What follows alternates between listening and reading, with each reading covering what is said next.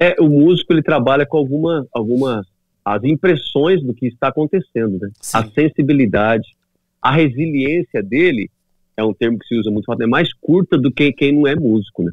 Um exemplo, você está no culto, o pastor está se esgoelando, precisando de um retorno de som, e o técnico está mexendo no celular. Um exemplo simples de hoje.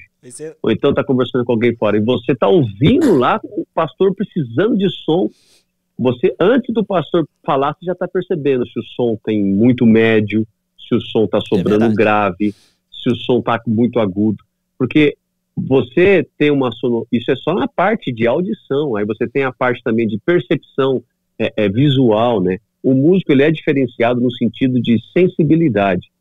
Tanto é que as composições dos músicos, tudo depende da sensibilidade que ele tem. Eu conheço um camarada que, é, embora a gente esteja numa live evangélica, uma live voltada para um público cristão, que com certeza alguém que não é cristão vai assistir.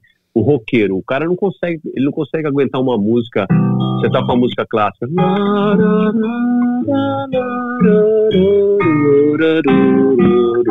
Ele quer tocar.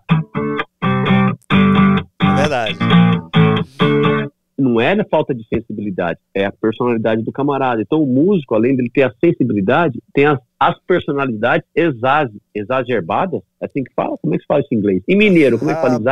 Rapaz, Aumentadas. Exageradas, né?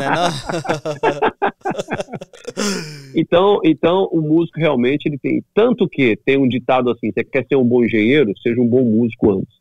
Você quer ser um bom advogado, seja um bom, seja um bom pianista antes.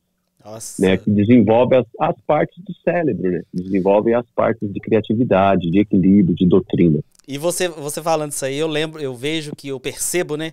Quando você vê assim, tem um conjunto cantando e as pessoas.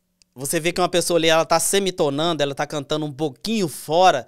Você fala assim, aquela pessoa não tá se escutando, ou então não tá escutando é, os instrumentos. É.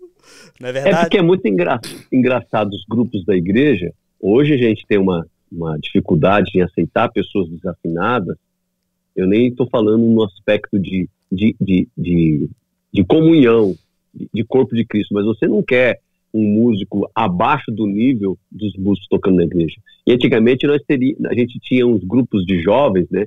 Que tinha os caras crentes. Os caras que era crente não era muito afinado, né? Aqueles caras que eram do poder. Ah, aleluia! Você começava a cantar um hino. Além do rio azul, todo mundo afinadinho as águas ah, abria o vocal, aí tinha uma aleluia, além do Rio Azul, ele saía gritando, porque o negócio dele não era afinação, era sentir o poder de Deus. E era cantar, né? E, e era cantar. Então o pastor, o pastor queria agregar pessoas, e não tá errado. O pastor agregava, grupo de jovens aí. E o maestro olhava assim, cara, esse cara desafina demais. Mas o interessante é que nessa parte de música, até nisso você aprende cinésio, porque você percebe que a música em si é uma coisa, mas o louvor e adoração e viver para Deus é um outro sentido. Não está ligado a fazer as coisas relaxadamente, mas está ligado a você oferecer tudo que você tem para Deus e viver para Ele. Então, se o desafinado está oferecendo tudo que ele tem, a gente que segure a onda, porque Deus está aceitando o louvor Não do é.